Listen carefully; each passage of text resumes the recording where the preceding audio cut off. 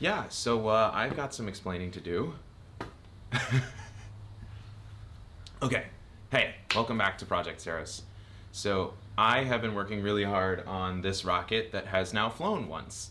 Um, it had mixed uh, results, as you may be able to tell. Um, but instead of editing down a big episode, which is probably going to take me a few weeks, um, I'm kind of running out of time for the Eclipse. So what I'm going to do is, after I post this video, I'm going to post a set of clips from the build and test and launch of this rocket. Um, and then I'm going to host a live stream. And during that live stream, I'm going to go through those clips um, and field your questions. So I want to post the clips in advance because I would like you all, the audience, uh, to have a good chance to look at the clips and come up with some questions before the stream starts, so that way you're not coming into it cold. Uh, that's really it. Uh, I will also take you around this rocket just very briefly, just to give you an idea of what's going on and how the launch went. So, here we go. So this was a two-stage vehicle. The sustainer is a three inch diameter filament wound fiberglass rocket. Um, this housed the 360 cameras. Um, and the booster was partly made from my L3, so this fin can is actually reused from my L3. Um, and it had like an interstage section that uh, did what we like to call a, a core sample. Um, and I'm still sort of trying to figure that out. So before the stream, I'm going to cut this open and try to get a better idea of what happened.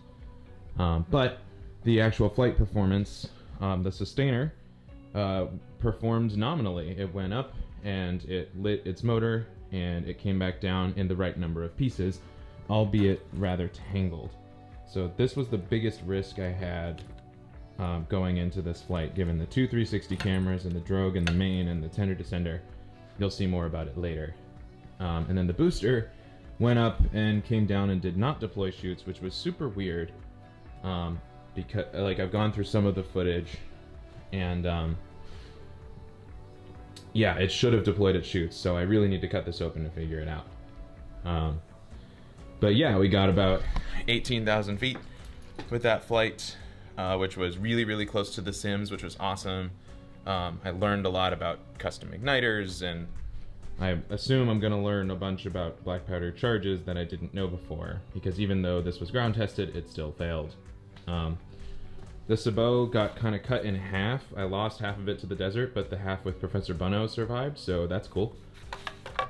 Um, and I'm probably going to end up rebuilding the entire thing because the recovery architecture for this, especially the sustainer, was um, a little suboptimal.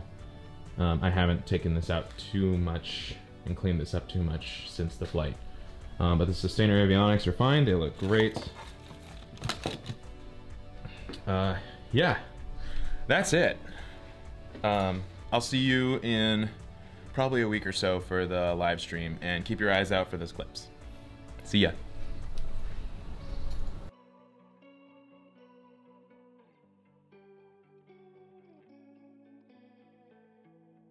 continuity, and then when that happened, we lost Should we bring a shovel? I have one. You have one. It's not a big shovel, so if we have a big shovel, we might. I've got a standard shovel. I'll bring it over. Question.